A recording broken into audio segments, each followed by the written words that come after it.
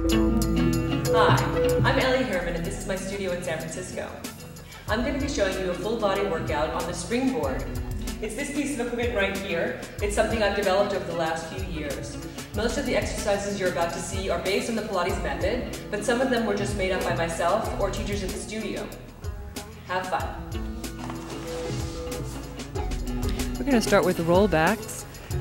The rollback bar should be six hooks from the bottom. You're going to inhale, lifting up nice and tall.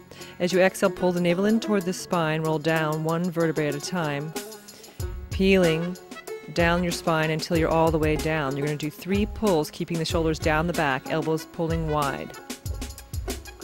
Then I want you to take a deep breath in as you exhale. I want you to imagine squeezing a tangerine underneath your chin as you round forward and then stack it up from the base of the spine as you inhale.